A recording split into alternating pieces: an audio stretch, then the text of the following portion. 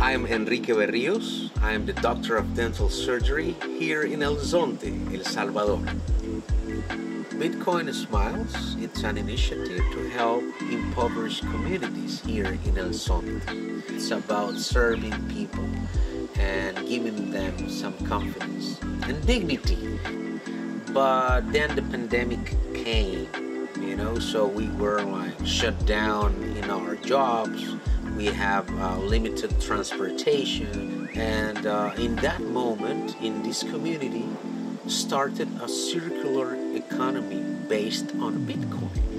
This is, for example, uh, Adrian's model that it was our first patient uh, paid in Bitcoin. You know, in other parts, it's just an, uh, another platform to get goods and services. But here, it's like mainly in a daily basis. It's a global uh, idea. It's a global project but we are trying to act locally, developing our area. In this case, Bitcoin is helping us to change humanity.